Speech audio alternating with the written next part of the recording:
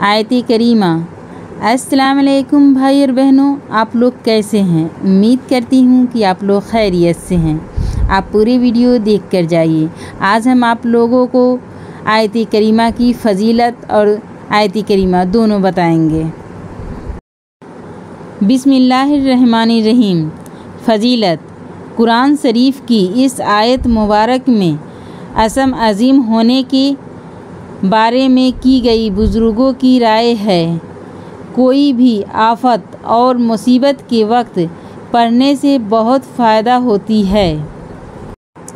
हज़रत यूनुस अलैहिस्सलाम को मछली निकल गई थी तो आपने मछली के पेट में इसका वर्द किया था।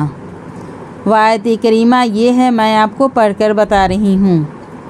ला इलाहा इल्ला अंता सुबह नका इन्नी कुंतुम मिनज़ालिमीन इसको ज़्यादा से ज़्यादा मरतबा पढ़ें। और अच्छी बात, शेयर करना शत के ज़रिया है। और वीडियो को लाइक कर दीजिए और चैनल पर नए हैं तो चैनल को सब्सक्राइब कर दीजिए। हम फिर मिलते हैं अगले वीडियो में। खुदा हाफिज़।